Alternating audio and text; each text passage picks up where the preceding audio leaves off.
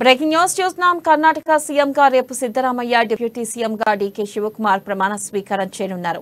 బెంగళూరు కంఠీరవ మైదానంలో మధ్యాహ్నం పన్నెండు గంటల ముప్పై నిమిషాలకు ప్రమాణ స్వీకార కార్యక్రమం జరగనుంది. ప్రమాణ స్వీకార కార్యక్రమానికి వివిధ రాష్ట్రాల సీఎంలకు ఆహ్వానం పంపారు. బీహార్ సీఎం నితీష్ కుమార్ తమిళనాడు సీఎం స్టాలిన్కు ఆహ్వానం అందించారు. జార్ఖండ్ సీఎం హేమంత్ సోరెన్ పశ్చిమ బెంగాల్ సీఎం మమతకు ఆహ్వానం అందించారు. ఈ కార్యక్రమానికి రాజస్థాన్ ఛత్తీస్గఢ్ హిమాచల్ ప్రదేశ్ సీఎంలు పాల్గొనున్నారు. శరద్ పవార్ ఉద్ధవ్ ఠాక్రే అఖిలేష్లను ఈ కార్యక్రమానికి ఆహ్వానించనున్నారు. సిద్దరామయ్య డీకేకు ఆపద్ధర్మ సీఎం బసవరాజ్ బొమ్మాయి శుభాకాంక్షలు తెలిపారు.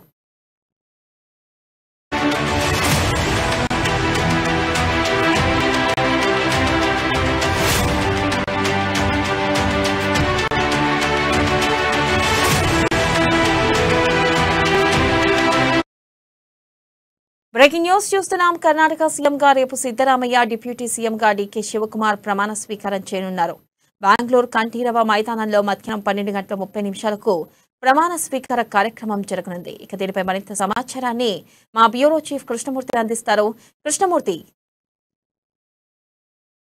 థ్యాంక్ యూ వెన్నెల కర్ణాటక సీఎంగా సిద్దరామయ్య ప్రమాణ స్వీకారోత్సవానికి ఘనంగా ఏర్పాటు జరుగుతున్నాయి. మొత్తంగా చూస్తుంటే ఐదు రోజుల కసరత్తు అనంతరం కాంగ్రెస్ పార్టీ సిద్దామయ్యను కన్నడ ముఖ్యమంత్రిగా ప్రకటించడంతో పాటు ఈ పోయికి ఈ పదవికి పోటీ పడ్డ టీ కర్ణాటక ప్రదేశ్ కాంగ్రెస్ కమిటీ అధ్యక్షుడు డికే శివన్ కుమార్ను ఉప ముఖ్యమంత్రిగా ప్రకటించింది.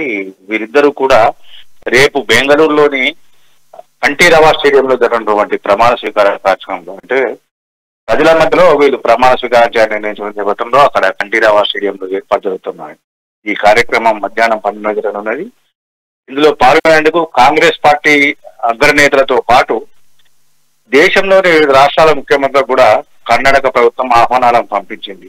ఇందులో ప్రధానంగా చూస్తే నితీష్ కుమార్ ఏదైతే మోడీ ప్రభుత్వానికి ఐక్య కూటమిని ఏర్పాటు చేద్దాం అని ముందుకు వచ్చినటువంటి నితీష్ కుమార్తో పాటు ఇటు కర్ణాటక తమిళనాడు సీఎం స్టాలిన్ మిగతా రాష్ట్రాలకు చెందినటువంటి ముఖ్యమంత్రులను కూడా ఆహ్వానించారు. విపక్ష నేతలను ఆయా పార్టీల్లోని విపక్ష నేతలను కూడా హాజరు హాజరు కావాలని చెప్పేసి కర్ణాటక ప్రభుత్వం ప్రభుత్వం తరఫున ఆహ్వానాలు పంపించారు. అందుకు సంబంధించిన ఏర్పాటు చేస్తా ఉంది. ఎవరెవరు వస్తున్నారో వాళ్ళకి కావాల్సిన ఏర్పాట్లు వసతులు బస ఏర్పాట్లు కూడా కర్ణాటక ప్రభుత్వం చేస్తా మొత్తంగా చూస్తుంటే ఐదు సంవత్సరాల అంతా మరోసారి క- కర్ణాటకలో కాంగ్రెస్ ప్రభుత్వం ఏర్పాటు చేయడం దేశవ్యాప్తంగా కాంగ్రెస్ కొంత ప్రతికూల పరిస్థితులు నెలకొన్న నేపథ్యంలో కర్ణాటకలో భారీ తోటి కాంగ్రెస్ అధికారంలోకి రావడం కొంత ఆ పార్టీకి కొంత బూస్టప్గా మారింది. ఈ నేపథ్యంలో ఈ అవకాశాన్ని అంటే కర్ణాటకలో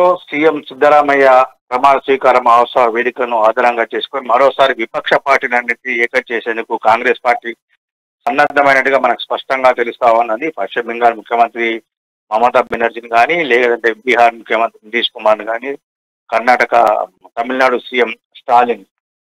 ఇట్లాంటి నాయకులందరినీ కూడా ఆహ్వానించింది. అయితే ఇక్కడ మనం ప్రధానంగా గమనించాల్సిన విషయం తెలుగు రాష్ట్రాలకు సంబంధించిన ఇద్దరు సీఎంలకు ఇంతవరకు సమాచారం అంటే ఆహ్వానం పంపించారా లేదా అనే విషయంలో ఇంకా స్పష్టత రావాల్సిన అవసరం ఉంది. ఆ కర్ణాటక రాష్ట్ర సచివాలయ అధికారులు కానీ ఇక్కడ రాష్ట్ర సచివాలయ జిఏడి సాధారణ పరిపాలన శాఖ అధికారులు కానీ ఈ విషయంలో ఇంకా ధృవీకరించడం లేదు. అంటే ఇటు ఆంధ్రప్రదేశ్ సీఎం వైఎస్ జగన్మోహన్ రెడ్డి కానీ తెలంగాణ సీఎం కేసీఆర్ కానీ కర్ణాటక ప్రభుత్వ ఆహ్వానాలు పంపించినట్టుగా మనకు ఎటువంటి సమాచారం? ఇది ఒక కీలక పరిణామంగా అంటే తెలుగు రాష్ట్రాలకు సంబంధించిన విషయంలో ఇది ఒక కీలక పరిణామంగా భావించవచ్చు. ఎందుకంటే కేసీఆర్ కూడా మోడీ ప్రభుత్వం మీద యుద్ధం ప్రకటించి జాతీయ స్థాయిలో పోరాటానికి సన్నద్ధం అవుతున్నారు. తన పార్టీని ఈ నిన్నటి వరకు టీఆర్ఎస్గా ఉన్నటువంటి పార్టీని టీఆర్ఎస్గా భారత రాష్ట్ర సమితిగా మార్చి ఆయన కొంత దేశవ్యాప్తంగా పర్యటన చేయడంతో దేశంలోని అందరి నాయకులను శరద్ పవార్ను కానీ ఆ స్టాలిను మమతా బెనర్జీని వీళ్ళందరినీ కూడా ఏకం చేయాలని ఆయన నిర్ణయించారు. ఈ నేపథ్యంలో ఆయనకు కర్ణాటకలో ఆ, ప్రమాణ స్వీకారం చేసిన సిద్ధరామయ్య ఆధ్వర్యంలోని ప్రభుత్వం కూడా ఆహ్వానం పంపకపోవడము కొంత చర్చనీయాంశంగా మారే అవకాశం. అంటే దేశవ్యాప్తంగా విపక్షాలను ఆ, ఏకం చేయాలనుకున్నాడు కేసీఆర్కు కాంగ్రెస్ పార్టీ సహకరిస్తుందా లేదా అనే విషయంలో ఈ విషయంలో కొంత స్పష్టత రావాల్సిన అవసరం ఉంది. ఇప్పటి వరకు అయితే అటు కర్ణాటక ప్రభుత్వం కానీ ఇటు మన తెలంగాణ ప్రభుత్వం కానీ ఏ రకమైనటువంటి సమాచారం ఇవ్వలేదు. అయితే కాంగ్రెస్ అధికారంలో ఉన్న రాజస్థాన్ స- రాజస్థాన్ సీఎంకు కానీ లేకపోతే ఛత్తీస్గఢ్ సీఎంకు వీళ్ళందరికీ కూడా ఆహ్వానాలు పంపించారు. మన తెలంగాణ తెలుగు తెలుగు రాష్ట్రాలు తెలంగాణ కానీ ఆంధ్రప్రదేశ్ ఈ రాష్ట్రాలకు ఆహ్వానం అందినట్టుగా మనకు తెలుస్తా ఉంది. ఇది ఒక కీలక పరిణామంగా చెప్పొచ్చు అయినా